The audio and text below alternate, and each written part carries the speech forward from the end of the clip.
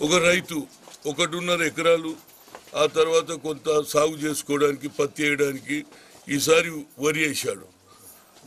ఈ పత్తి పంట దెబ్బతినడం వరికి సరి అయిన ఏదైతే పంట పండకపోవడం అప్పులు చేశాడు ఇద్దరు పిల్లలు ఆయనకు. ఒక పిల్లనేమో కరెంటు షార్ట్ కొట్టి చనిపోయింది. ఇంకో కూతురు ఉన్నది అమ్మాయిని చదివించే పని రాష్ట్ర ప్రభుత్వం తీసుకోవాలి. అదేవిధంగా వాళ్ళ అత్తకు కిడ్నీ ప్రాబ్లం ఉన్నది. దాన్ని తప్పనిసరిగా రా- ఏది హైదరాబాద్లో సూపర్ స్పెషాలిటీ హాస్పిటల్లో పెట్టి ఆమెకి ట్రీట్మెంట్ ప్రభుత్వాన్ని కోరుతున్నా.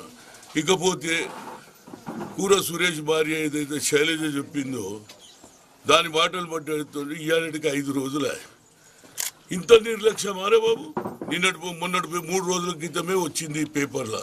కూర సురేష్ అనే రైతు ఆత్మహత్య చేసుకుంటే మరి రాష్ట్ర ప్రభుత్వం ఇంతవరకు కదలలే. ఒక రెవెన్యూ ఆఫీసర్ రాలే. ఓరు అగ్రికల్చర్ ఆఫీసర్ రాలే. ఏమిటి బతుకు అని సొంత ఊర్రా బాబు. కేసీఆర్ దేశం మొత్తంలో I'm number one. Telangana number one. Telangana బంగారు తెలంగాణ డైలాగులు కొడతాడు. కానీ ఆచరణలు మాత్రం నిజమైన బాధితులను చూడాలని ప్రభుత్వానికి కండు లేవా? లేకుంటే చెవులు వినిపించవా ముఖ్యమంత్రి గారి సొంత ఊరు. ఆయన ముఖ్యమంత్రి అయినాడు వీళ్ళంతా దీపావళి లెక్క పటాకాలు కాల్చుకున్నారు. ఒకడు ఒకడు కోడి తెచ్చుకున్నాడు. ఒకడు ఏది? మందు తెచ్చుకున్నాడు తాగిండు. మా సార్ వచ్చిండు ఇక మా ఊరికి బాగా ఇక వాళ్ళ ఊర్లోనే ఇట్లా అయినాక ఇరవై లక్షలు ఎక్స్గ్రేష్ అయ్యాలి నీ సొంత ఊరు. అదేవిధంగా మంత్రి ఇంటికో ఉద్యోగం అన్నాడు.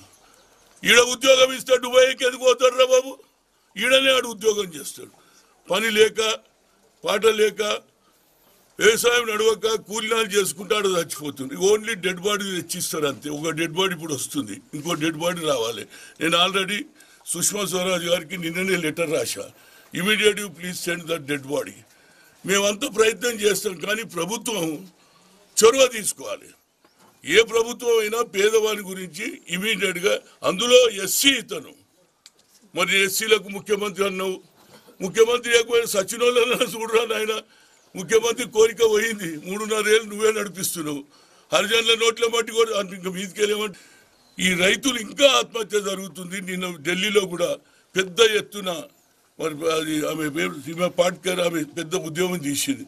ఎక్కడ చూసినా యావత్ భారతదేశంలో కేంద్ర ప్రభుత్వం స్పందిస్తలేదు. రాష్ట్ర ప్రభుత్వం స్పందిస్తే దీన్ని ఎక్కడోనో ఒక దగ్గర స్వామినాథ్ కమిషన్ను ఇంప్లిమెంట్ చేయాలని రైతులు ఇక ముందు ఆత్మహత్యలు చేసుకోవద్దని కోరుతున్నా.